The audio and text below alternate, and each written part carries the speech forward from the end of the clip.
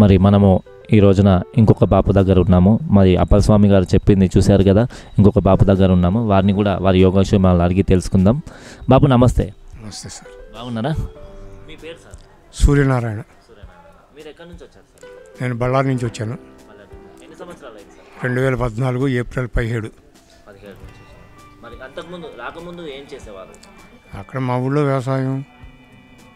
ఒక కాలు పోయినప్పుడు కూడా నా సొంతంగా వండుకొని తినేవాడిని. ఇక మా సిస్టర్ వాళ్ళందరూ ఈ రెండో కాలు తీసేసిన తర్వాత నువ్వు అక్కడ నుండి ఏం చేస్తావు అని చెప్పి తీసుకొచ్చారు. ఇక్కడ అమీర్పేటలో మా సిస్టర్ వాళ్ళు ఉంటారు. రీసెంట్గానే పోయింది ఒక సంవత్సరం అయింది మా సిస్టర్ పోయి. మా సిస్టర్ కూతుళ్ళు. అంతకుముందు లైఫ్ అంటే బాగానే ఉండేది. కొన్ని కొన్ని చెప్పలేం సంఘటనలు జరిగే సంఘటనలు బట్టి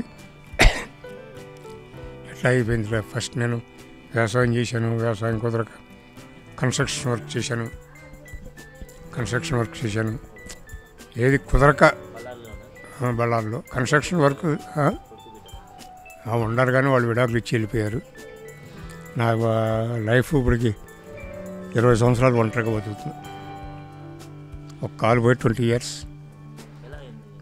ఇది accident lorry Apollo hospital Apollo మద్రాసులో. ఇదేమో షుగర్ వల్ల పోయింది.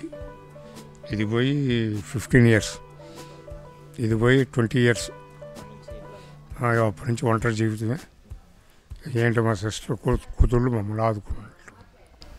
సో ఇక్కడ చేర్పించారు కదా. ఇక్కడ చేర్పించినాక మీకు ఎలా అనిపిస్తుంది? ఇక్కడ చేర్పించిన తర్వాత బాగానే ఉంది. ఆరు సంవత్సరాల నుంచి ఎటువంటి ఇది లేదు. అంతా బాగానే సవ్యంగా జరుగుతుంది. అదే ఆరోగ్యపరంగా అంటే జస్ట్ ఈ త్రీ ఫోర్ డేస్ నుంచే. కొంచెం జ్వరం వచ్చి దగ్గు వచ్చి ఇదైంది కానీ అంతకుముందు అసలు ఆరోగ్య పరిస్థితులు ఏ రోజు లేదు. నాకు అసలు ఆరోగ్యం ఎట్లా ఉంటుంది.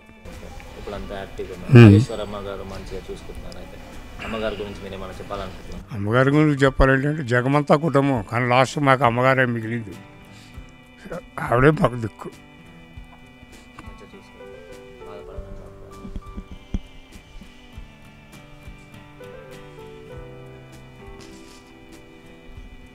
ఏం కాదు బాబు గారు ఈ అమ్మగారు ఉన్న రోజులు అందుకే మనలాంటి వాళ్ళకి ఈ యొక్క సపోర్ట్ అనేది ఎప్పుడు లభిస్తుంది. ఖచ్చితంగా మీకు కూడా న్యాయం జరుగుతుంది. ఈ యొక్క అమ్మగారి ఫౌండేషన్లో ఉన్న రోజులు కన్న కూతురులాగా చూసుకుంటుంది కాబట్టి అంత మంచి జరగాలని కోరుకుంటున్నాం.